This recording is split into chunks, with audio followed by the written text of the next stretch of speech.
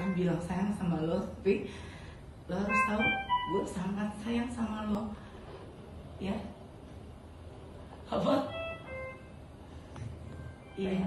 I love you too dong. Oh iya.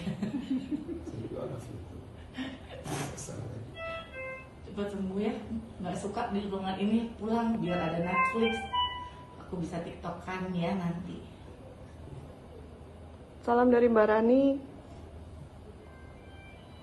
Sembuh ya Beti lo akan tiap hari di sini nungguin lo apanya. Apa katanya? kalau makan gratis enggak ada gue beli ya udah Beti istirahat ya ya banget ya. jangan, jangan. Mas Bekti.